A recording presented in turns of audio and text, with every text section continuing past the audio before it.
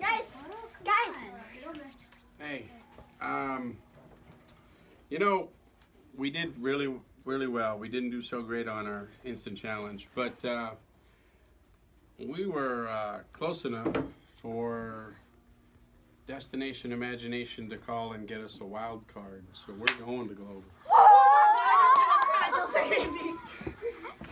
We are going to Global. I tried not to scream so loud, but uh, going to global isn't going to global. So I knew three days ago.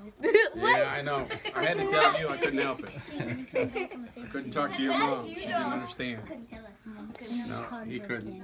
He just promised not to.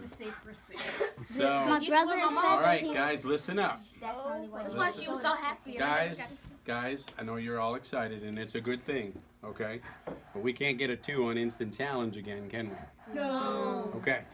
All your parents know they're going to be here this afternoon to fill out all the paperwork. They already know.